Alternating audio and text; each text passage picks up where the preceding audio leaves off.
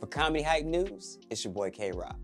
If you happen to scroll through streaming services for the latest stand up comedy special, you can thank Charlie Case, who went from lawyer to laughter, bolstering a career as a pioneer in the art of stand up comedy. Charlie Case was a former entertainer writing his own songs before he would go on to be known as one of the most famous vaudeville acts of all time. Adding the godfather of comedy to his title would come later and is due to him truly being the first of his kind. If not for Case, one can only wonder where would the world of humor be. As comedy once was an act without words and far less people had access to see these shows to have an opinion. The advent of stand-up comedy does not have a specific date that is agreed upon. However, it is clear that the origins location of that is New York City and its infamous vaudeville shows. Vaudeville shows were showcases made famous during the late 1800s and into the early 1900s in major cities with people yearning for entertainment and willing to spend the money. Prior to these shows, bar halls and other places that only allowed for a small amount of people were the only venues to put out such entertainment. These showcases at the vaudeville shows granted individuals with nearly any talent a chance to perform, and individuals changing talents was common. As a natural storyteller and musician, the man of many talents would turn to performing via singing prior to his discovery of what we know today as stand-up comedy. Meet Charlie Case, the black man credited for inventing stand-up comedy, a story you should know.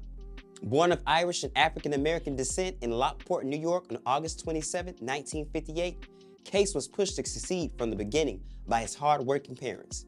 His parents provided a solid upbringing that saw Case attend quality schools, and he was overall a great student.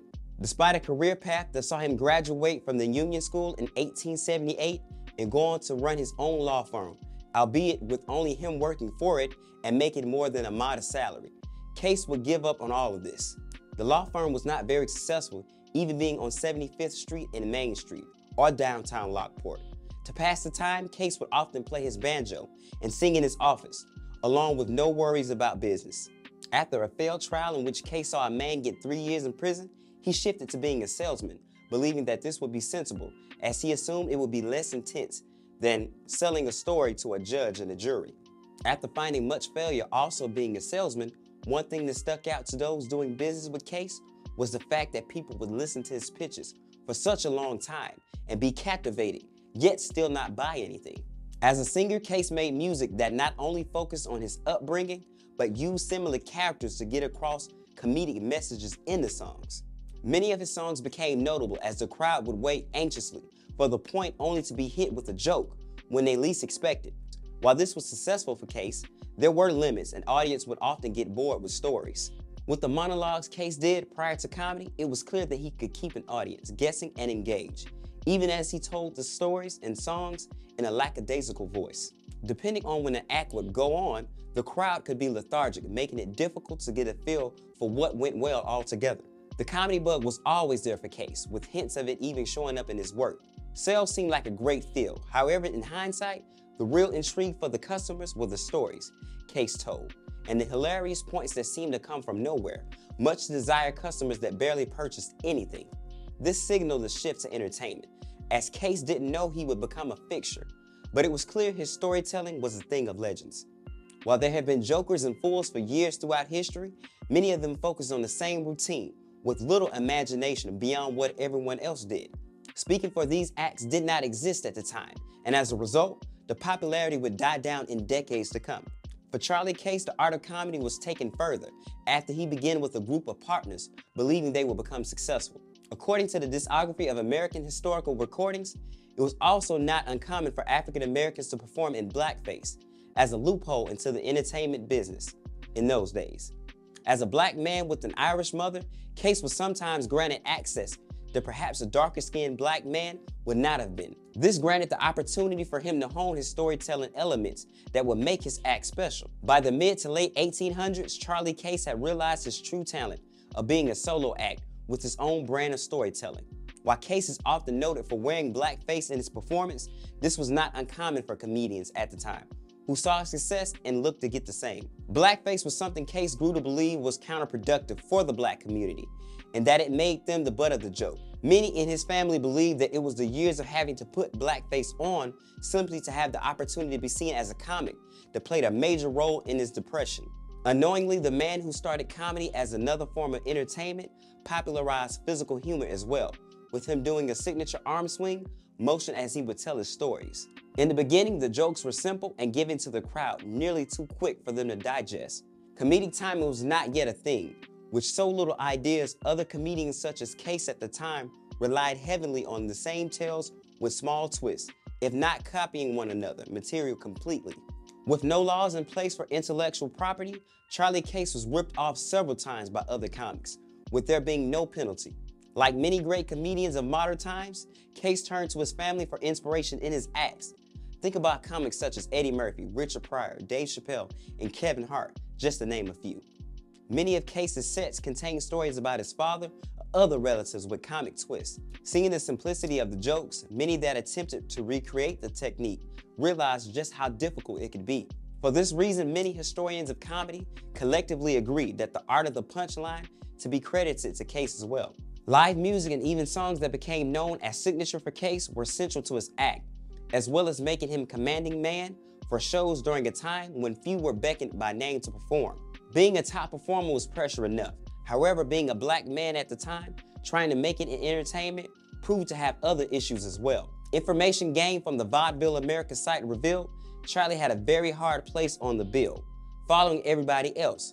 But as usual, his peculiar methods reached the audience at once and created lots of laughter and received lots of applause. One can see that Case became aware of the copying and subsequently dug deeper in order to keep his uniqueness to his craft. Racism played a role as well, with many of the audience members leaving during his early performances or attempting to rattle him, unlike they would do to white performers. There is no set documenting or talking about the act, but in some ways, this shows hecklers may have always been around. Producers and booking agents salivated over Case as his simplistic approach made him mysterious. His clothes were nothing special. Some would even describe them as old, and the piece of string that he carried during his performance appeared no more special. Noting that all of the material Case was producing was original made many watchers watch closer, waiting to see whom he would take material from as well. Nevertheless, Case continued to prove his talents and sharpen his skills, bettering his comic timing greatly before he died, compared to the beginning where he was first to speak. As the early 1900s came, Case found himself depressed, with several people in his inner circle concerned. People were shocked as Case always seemed to be never too high or too low. The man was much quieter offstage than on. However, his family remembered his love for making people laugh and playing music long before he performed on the vaudeville scene. Never once to complain about his stolen material, Case's depression went unnoticed until it became a serious issue that made family and friends intervene. Tours were canceled with an especially large one in England during 1909. After much speaking with family and even seeking therapy, Case realized he'd grown to nearly despise blackface the act Case saw as limiting to black people and something that he felt was overused. To combat this, Case would go on to reinvent himself, having a show simply alone without any live music or the need to entertain the audience with gut-busting stories. Issues came about both prior to the changes of blackface and after for Case. Prior to the switch, there were several audience members that found themselves unable to fully take in the joke before Case swiftly moved on with his story.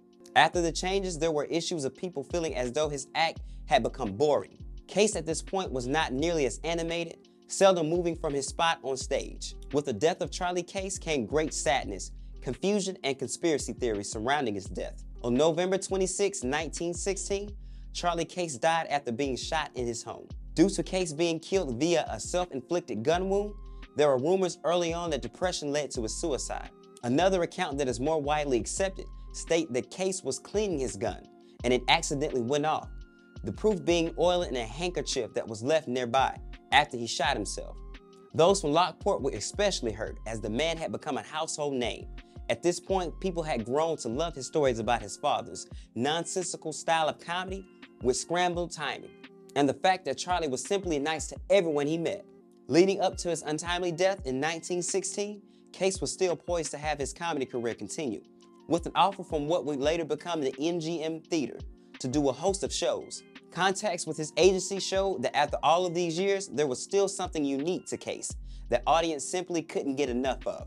Those that remember the man said he was fun, caring, and always had an idea that he had to get out. The legacy for comedy is stamped forever, as Case essentially created the blueprint for the most largest names in comedy today. Guys like Charlie Case are part of the reason intellectual properties today is so protected. And his legacy is made that much stronger considering how much harder it was to stand out when it was politically correct to follow what every other performer did. When he wasn't on stage, Charlie was a quiet person that kept to himself and most would eventually describe him as shy.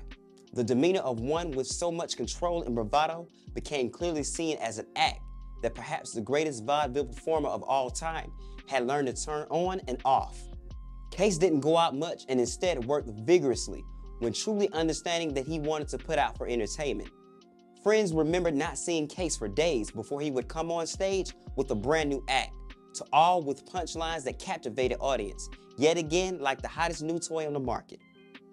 There will continue to be stories about who did what first in comedy, as there are also many different aspects. However, the conscience appears to be that Charlie Case is the godfather of stand-up comedy. Without his contributions, they may be comedians simply stealing routines from one another, having random musical segments to their acts, or simply never pushing the envelope with humor. Family has been a topic that is common for nearly every famous comic today, and humble beginnings of a remarkable storyteller set the foundation of the craft and continue to make millions laugh as he did during the remarkable life.